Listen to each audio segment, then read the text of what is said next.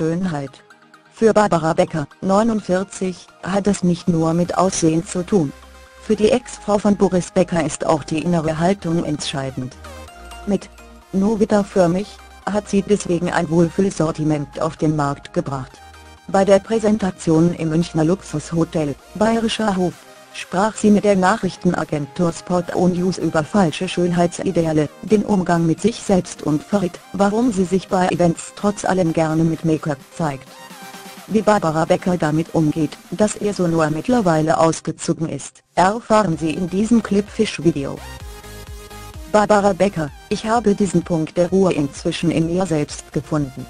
Das heißt, ich habe die Ruhephasen nicht nur am Wochenende oder im Urlaub, sondern setze sie mir auch im Alltag. Wenn ich merke, dass mich der Stress überkommt, mache ich direkt etwas anderes und versuche gegenzulenken, zum Beispiel durch Meditation. Skriptiv. Becker, absolut. Die Bewegung und das Ankommen im eigenen Körper sind toll. Klar muss man sich manchmal ein bisschen quälen aber irgendwann kommt ein Glücksgefühl, mit dem man sich gut fühlt. Becker, oft ist Stress im Alltag das Problem. Wir leben heutzutage anders als vor einigen Jahren und haben häufig nur ungesunde Sachen zur Verfügung. Auch verzichten immer mehr Menschen auf Fleisch und nehmen dadurch weniger Proteine zu sich.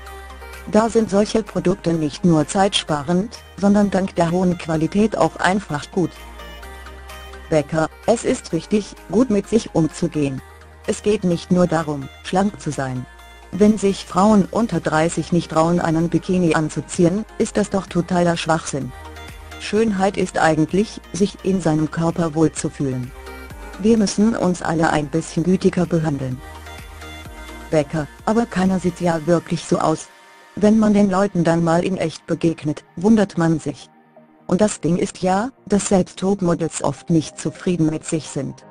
Man muss wirklich anfangen, sich selbst besser zu behandeln. Komplimente, die anderen einem geben, sollte man auch sich selbst geben. Es gibt immer etwas Gutes. Becker, immer weniger. Durch Instagram, Snapchat und Co. kommen die amerikanischen Schönheitsideale viel schneller hierher. Aber dort ist das Streben nach der ewigen Jugend stärker verankert. Dafür ist es hier wichtiger, ob man auch etwas zu sagen hat und ob man etwas gelernt hat. In Amerika gibt es viele, die wirklich nur über ihr Aussehen bekannt sind. Becker, wer kann der kann. Ich kenne Alicia Keys auch persönlich und muss sagen, dass sie wirklich keine Schminke braucht. Wenn man so aussieht, ist es aber natürlich einfach, alles wegzulassen.